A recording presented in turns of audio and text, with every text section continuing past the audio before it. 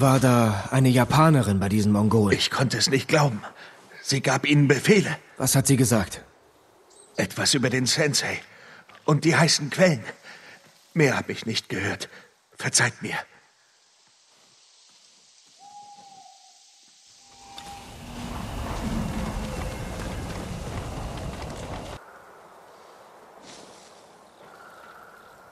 Ich lehrte ein Monster, wie man jagt. Sie hörten, wie Tomoe den Mongolen Befehle gab. Sie erwähnte das Hiyoshi-Heilbad. Sie fängt gerade erst an. Sakai, eure Art zu kämpfen ist nicht der Stil eures Onkels und nicht meiner. Wir hatten noch nie einen Feind wie diesen. Ich tue, was ich muss, um zu siegen. Ein Samurai ist ein Wächter. Kein Mörder, der herumspringt wie ein Dieb. Ihr habt Komoda nicht gesehen. Ich habe genug gesehen.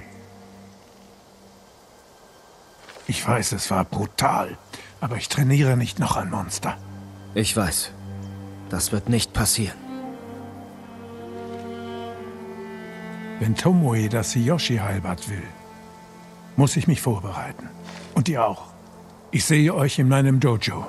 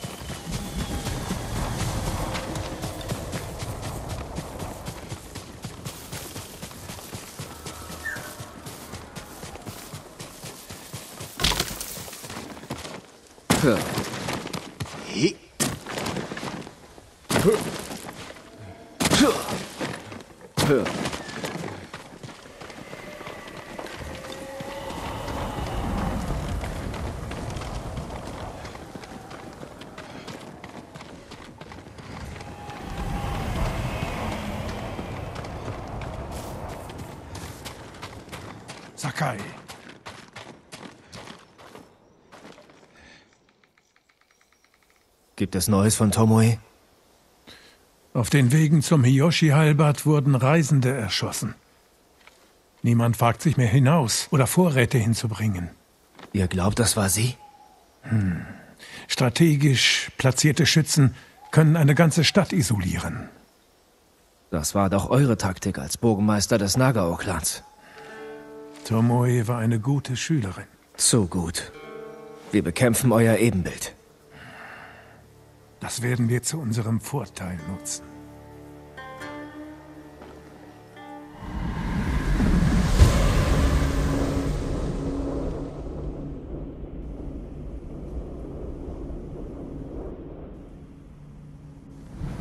Kommt, Wie sollen wir diese Bogenschützen finden? bedenken wie Tomoe.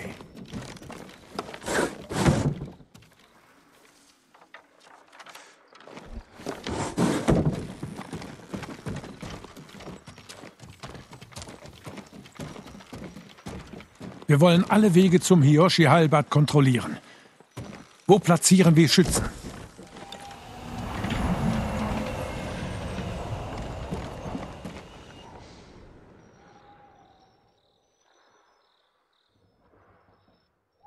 Es wäre schlau, den Hauptzugang zur Stadt zu kontrollieren. Die Leute meiden bereits die Hauptstraße. Schützen wären dort nutzlos. Der Pfad hinter dem Gasthaus. Nein. Kaum Deckung, schlechte Sichtlinien. Wir wollen mit möglichst wenigen Schützen das größte Gebiet abdecken. Eine Handvoll Männer könnte die Straße zur Küste blockieren. Ja.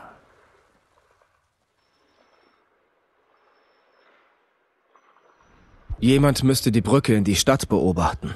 Sehe ich auch so.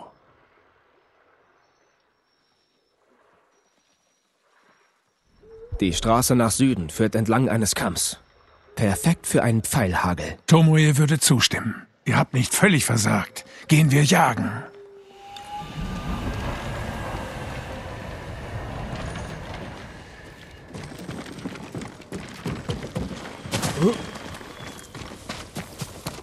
Was habt ihr Tomoe noch gelehrt? Ich habe nichts verheimlicht. Warum ihr den Nagao-Clan verlassen habt? Das ist kein Geheimnis. Ich setzte mich zur Ruhe.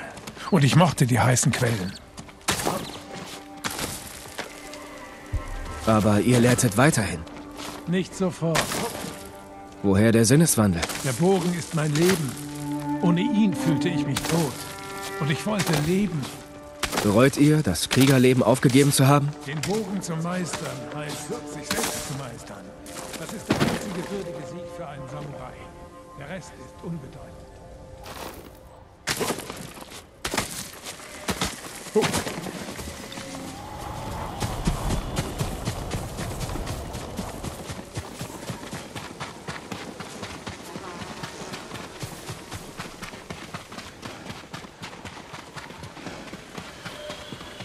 Wir nähern uns. Augen auf.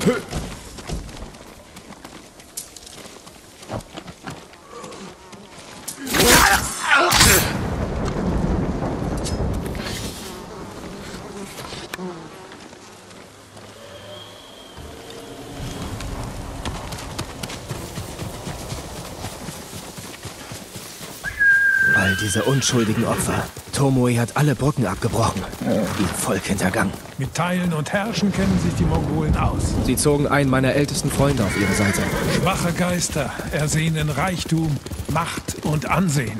Sie werden leicht zu Verrätern. Schwach oder nicht. Tomoe und Ryoso wussten, dass sie mehr verdienten, als sie hatten. Ihr zeigt zu viel Mitgefühl. Ich verstehe, wie sie denken. Doch wer Chaos sät, muss bestraft werden. Euer Weg sät Chaos. Ja, beim Feind. Nein, nicht nur. Ein Samurai darf Gewalt nicht zügellos ausüben. Sonst kommt es zu endlosen Blutvergießen. Es geht darum, den Feind zu besiegen. So beendet man das Blutvergießen. Tomoe hat das Gleiche gesagt. God!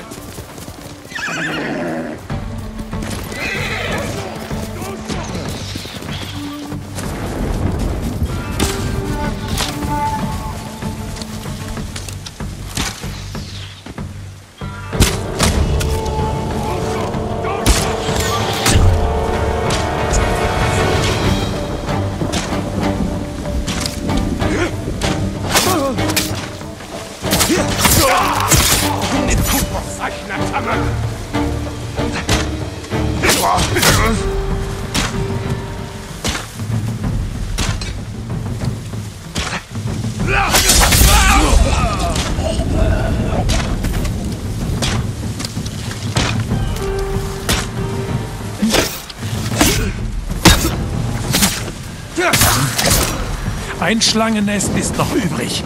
Kommt!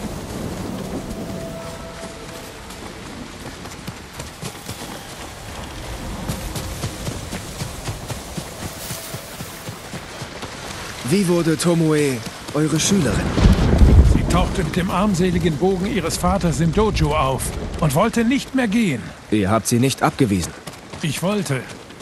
Doch sie bohrte einen Pfeil nach dem anderen in meine Ziele. So ein Talent hatte ich noch nie gesehen.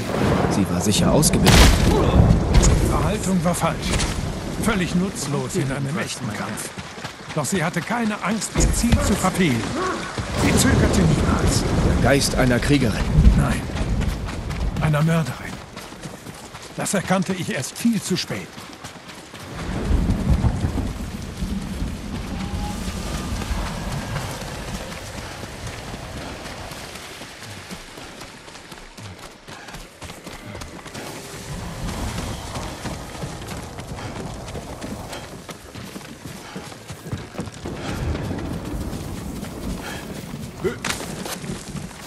Ха.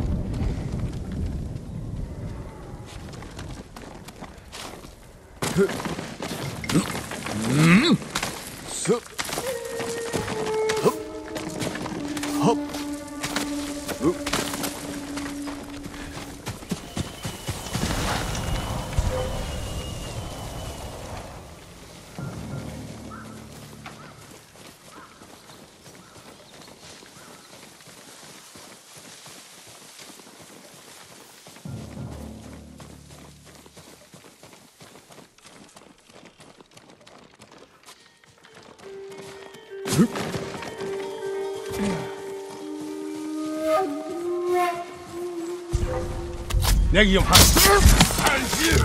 多少？天启！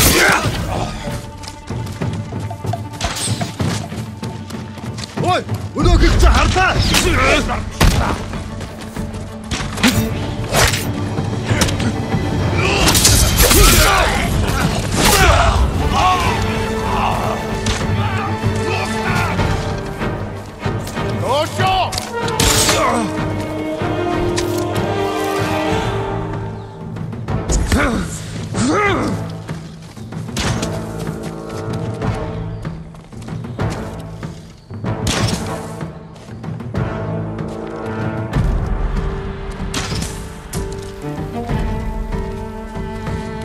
halbtot Bayra! So.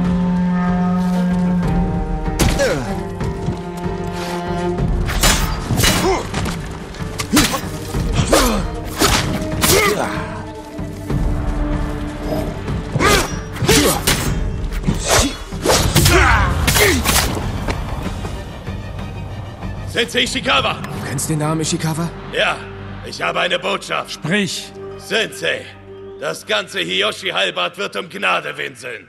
Wie die Opfer von Hironori Naga. genug!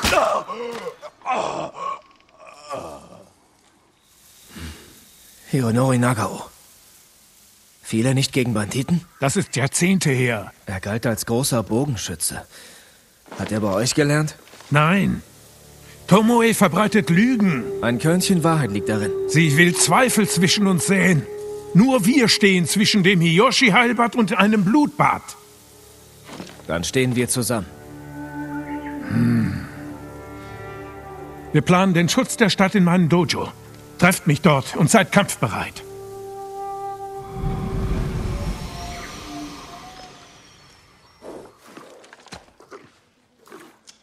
Sehr gut, Kage.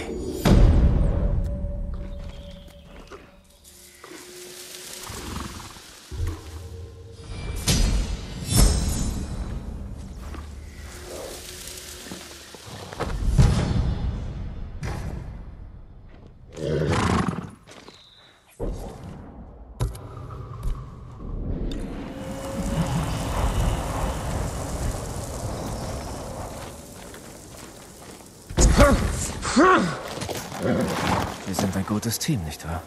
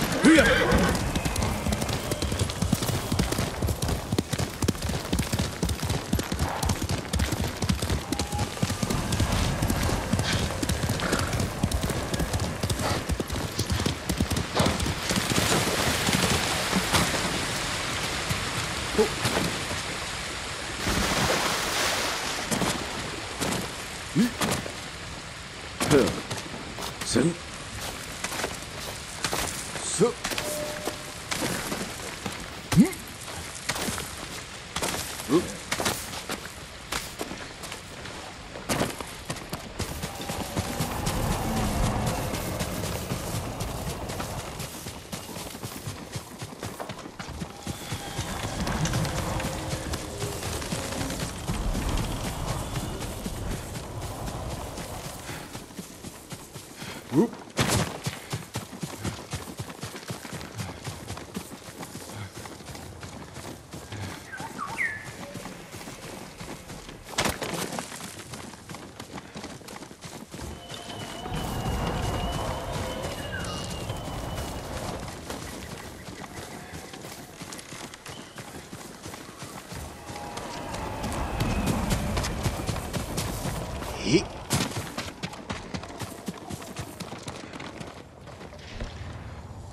Sakai.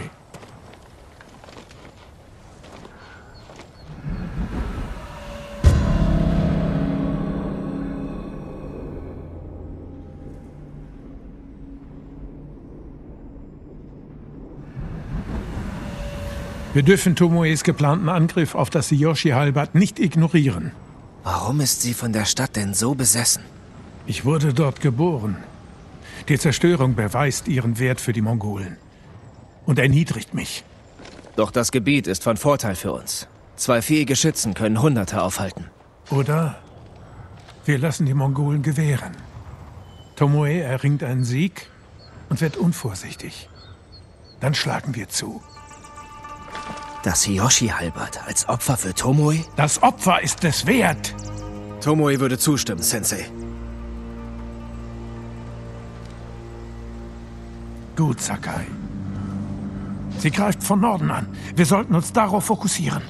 Nach geeigneten Anhöhen suchen, Pfeile platzieren und... Leise. Hört ihr das? Ein Pfeil, ein Tod.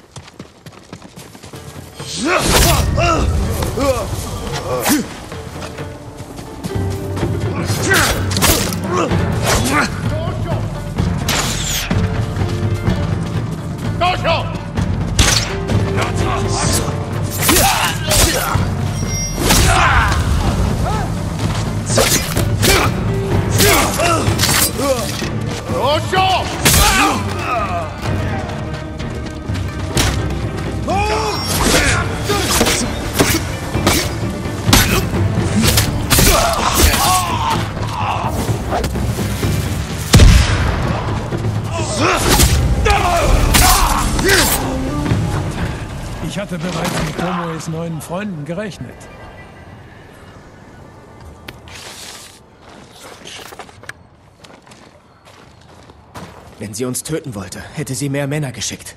Sie wollte uns nicht töten, sondern aufhalten. Das Hiyoshi-Halbert. Der Angriff beginnt.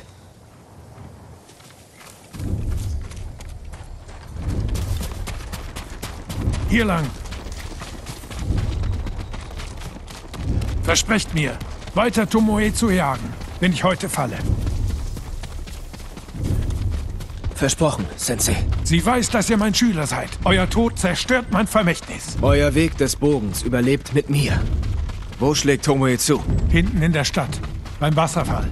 Der verwundbarste Punkt. Wenn wir vor den Mongolen ankommen, können wir uns vorbereiten. Das wird nicht leicht. Ist es nie.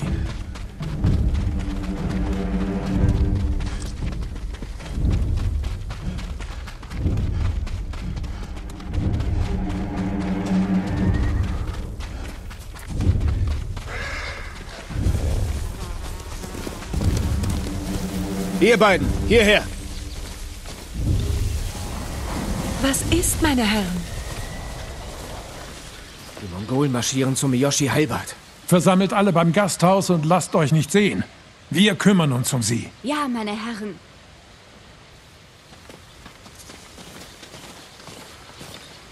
Von hier aus ist die Sicht gut. So können die Mongolen uns nicht flankieren.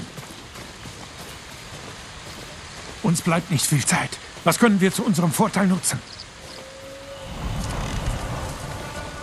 Wir haben keine große Wahl. Nutzen wir das, was wir haben.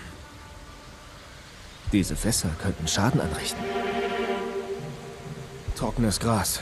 Lock die Mongolen dorthin. Wir sorgen dafür, dass ihr Brandpfeile habt. Hornissennester. Sehr gute Ablenkung. Nehmt diese Brandpfeile und verbrennt euch nicht daran. Oder mich. Dann bleibt mir aus dem Weg, Sensei. Bereit machen. Dort auf der Hauptstraße. Ich erledige sie.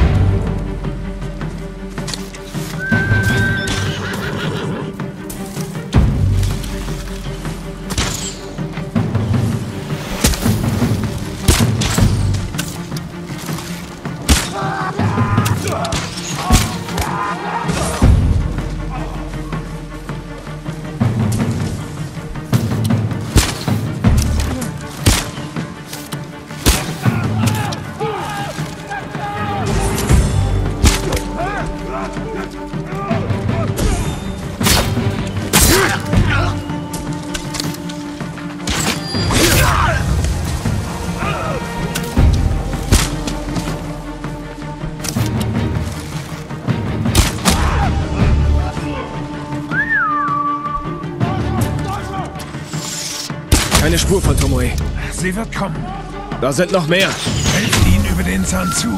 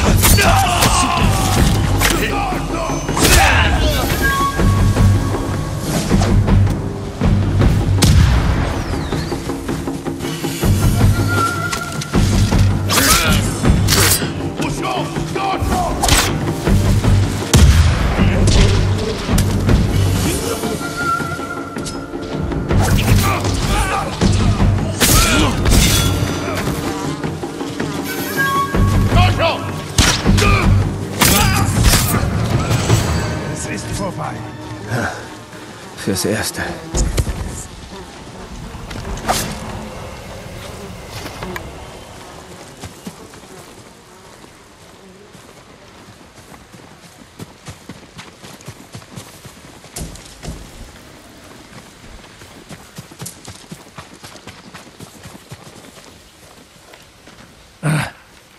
Da ist sie ja. Das ist Tomoe. Sie verbrennt das Nagao-Banner. Jetzt haben wir sie. Bis wir dort sind, wird sie längst weg sein.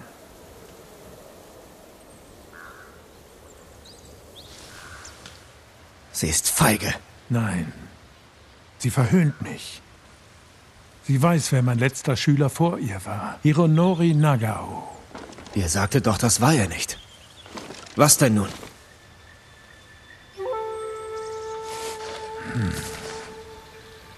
Ich war jung, hochmütig, gefühllos. Hironori nahm mich zum Vorbild. Er führte Rebellen gegen den Clan und verlor. Doch erst tötete er Fürst Nagaos beste Männer. Hironori starb nicht im Kampf mit Banditen. Die Geschichte sollte Nagaos Vermächtnis schützen. Meins war nicht mehr zu retten. Als sein Lehrer war ich nicht mehr vertrauenswürdig. Man war so gnädig, mich zurücktreten zu lassen. Ich redete mir ein, der Weg des Bogens müsse bewahrt werden. Die Wahrheit ist, ich bin ein Feigling und hätte es längst beenden müssen. All das habt ihr Tomoe erzählt. Sie sollte bloß verstehen, was es mir bedeutete, wieder zu lehren. Und wie alles andere wandte sie es gegen mich.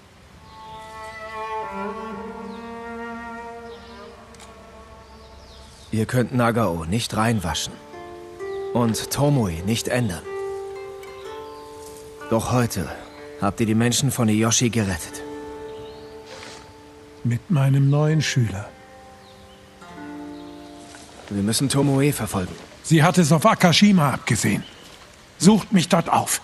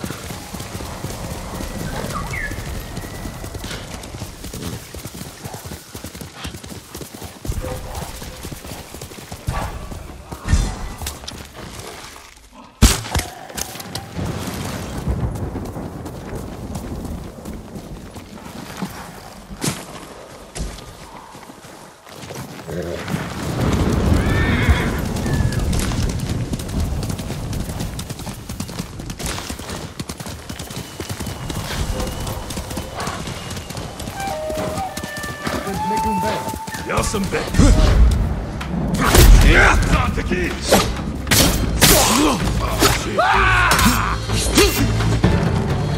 Oh,